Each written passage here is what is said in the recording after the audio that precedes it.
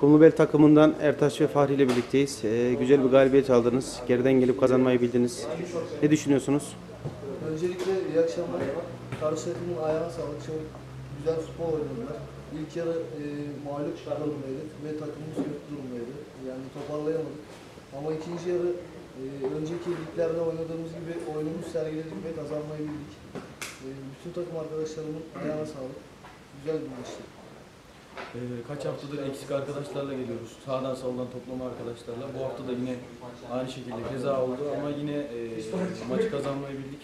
Karşı takıma teşekkür ediyorum. Kendi arkadaşlarıma teşekkür ediyorum. Başarılar diliyorum. Sağ olun.